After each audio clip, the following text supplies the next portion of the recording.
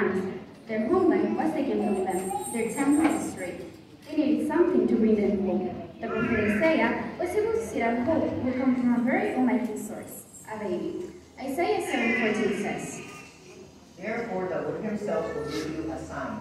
The virgin will with child and will give birth to a son, and he will call him Emmanuel. The name Emmanuel means God with us. Also promised his baby would bring people out of darkness, but his darkness was not only the darkness of their present circumstances, but the darkness of sin and condemnation. This child would bring not only light and gloom, but salvation. The people walking in darkness have seen a great light.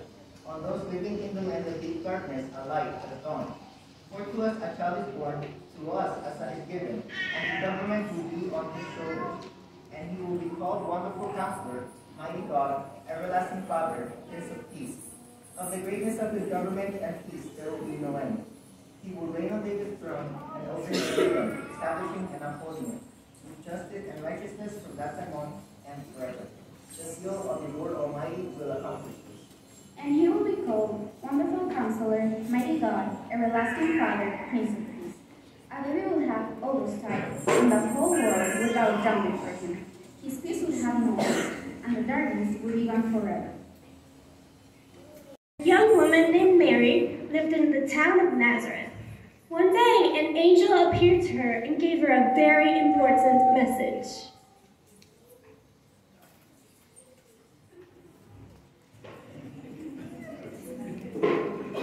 Mary, don't be afraid. I come to give you good news. You have been chosen by God and will be blessed. You will birth the Son of God. You will name the baby Jesus. Mary was engaged to Joseph, the carpenter.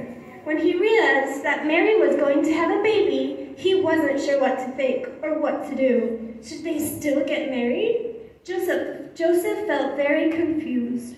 While he was sleeping, an angel, angel appeared to Joseph as well. Joseph, don't be afraid. Uh, don't be afraid to take Mary as your wife. The child she carries belongs to the Holy Spirit. He will save the people from their sin.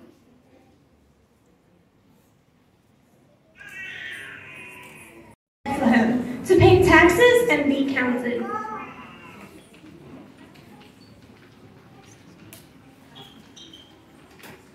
Mary was heavily pregnant, and it was almost time for the baby to be born. When they arrived in Bethlehem, there were hundreds of people staying at the inns, and they couldn't find a place to stay.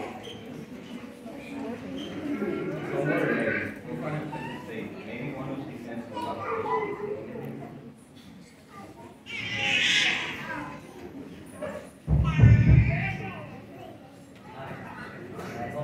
Hi, we're looking for a place to stay. My wife's recommendation is interested. Do you have a place for us?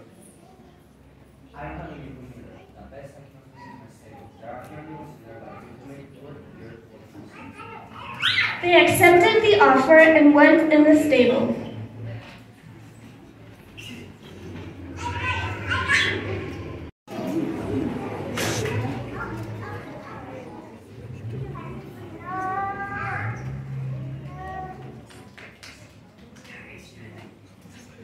There, among the animals, baby Jesus was born. It wasn't fancy, and there was no one else to witness the birth of this baby, who would bring peace to the earth and salvation to everyone.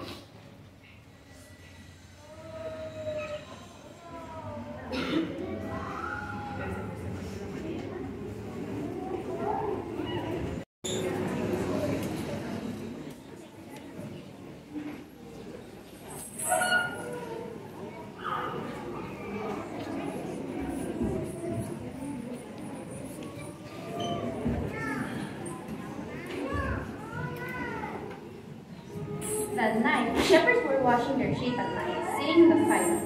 Then, all at once, the sky flooded with angels, angels everywhere, and great light. The shepherds were terrified.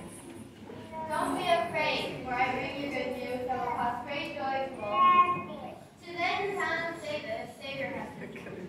He is the Messiah, the Lord. This is the sign. You will find a baby wrapped in cloths and lying on a manger. Glory to God in the highest heaven, and on earth peace to those on whom his favor rests.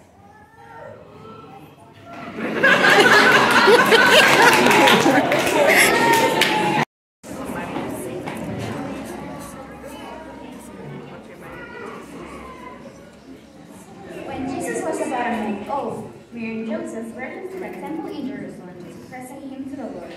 For it was written in the law of the Lord, every firstborn born shall be circumcised to the Lord, and a sacrifice of two turtle doves shall be offered. There was a righteous and devout man in Jerusalem named Simeon. The Holy Spirit had revealed to him that he would see the Messiah before he died.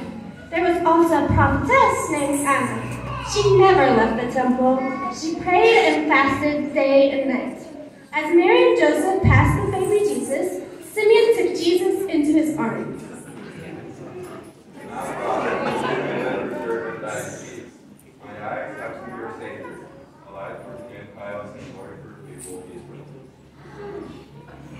Then Simeon blessed them and spoke to Mary.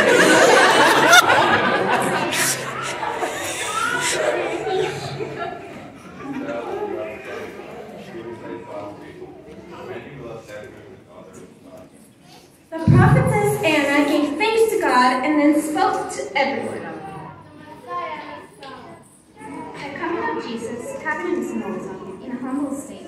He was born to people, people chosen by God.